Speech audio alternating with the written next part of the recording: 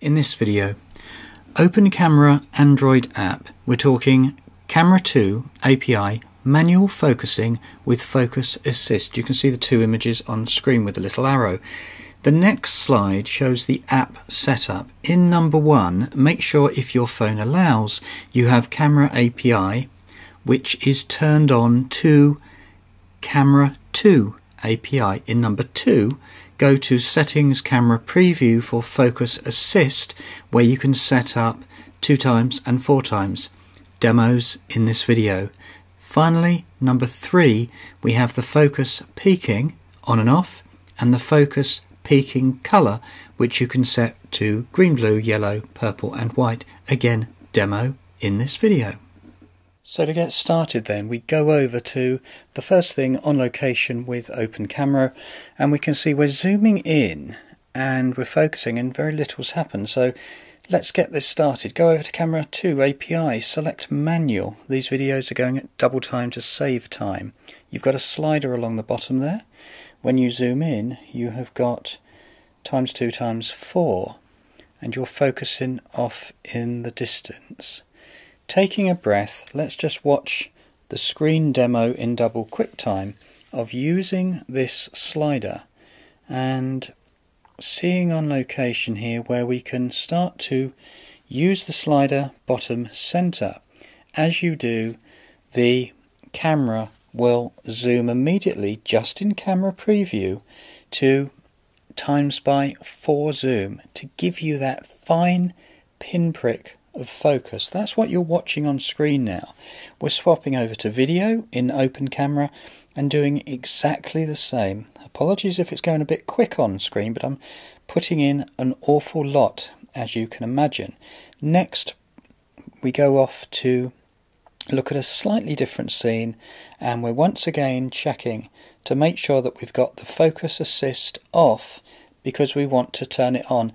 I like the focus assist because it gives you that pinprick. So in the demo here with a previous me a few hours ago, I'm setting up number times 2 and you can see that it automatically zooms in to the dead center of screen to give you that idea of exactly where we're going with pinprick focus.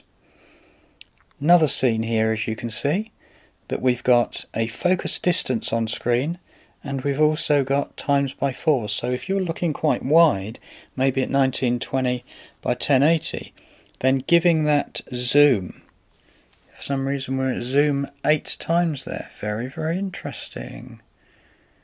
Just let this play out with this scene because if you're new to this then you can literally go into a field play around with the manual focus if you're lucky enough to have API 2 and on screen now you can see a little bit of exposure exposure we're adding um, a little bit more of a layer, shall we say, in production. We've moved over to the thistles and similarly we're getting used to it now and we can see this is a great example because if you have an object which is a plant, say in this example, quite close to the camera intentionally, then you can pull around with the focus to infinity and to right up close to really start composing something that you actually like.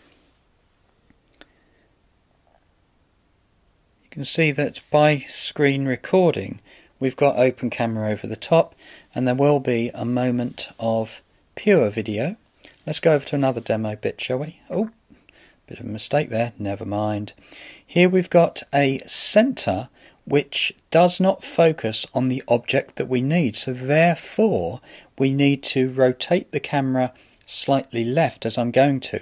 Get our object, which is our flower here, and then we're going to get some focus directly on it. Can we do that? Oh, good, that's sharp. That's quite sharp focus. Then we can rotate the camera, pan it to the right, and you can see that we've got our object exactly in focus as we need. And then we can compose. This shot will be at the end of this video, and you can see I tried to record then. Obviously, the Moto G8 Plus doesn't want to do it if we're screen recording. We are now going to go over in a couple of seconds' time to the focus peaking and I will show you that just finishing this scene I can promise that it's coming in 3 2 1 and here it is so we're indoors in the studio we've got some sharpies and you can see that when we're focusing we get a visual representation of the focus on screen. Of course we do, but we need to go down and look at the camera preview again and looking at the focus assist which is off in this example. I found it works a bit better than that. Right to the bottom and we need focus peaking. We're going to set on white and we're going to turn that on and then you'll see what happens when we slide the focus. You can see that there's the scene, but as you get something in focus, you start to get this peaking of white. Can you see on the Sharpie on right of screen?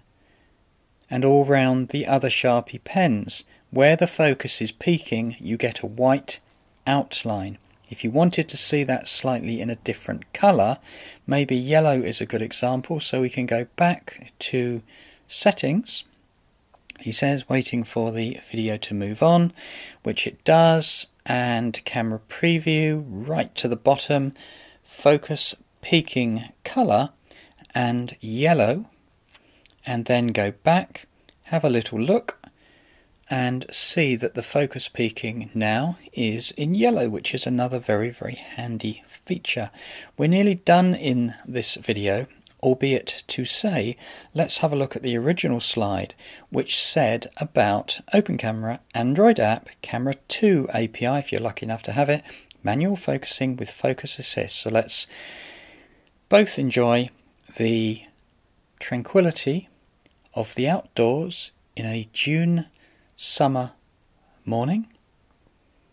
And I think this might have been double time without audio. Irrespective of that, let's fade to black. And once again, this was me, Mike Downes, and see you in the next video.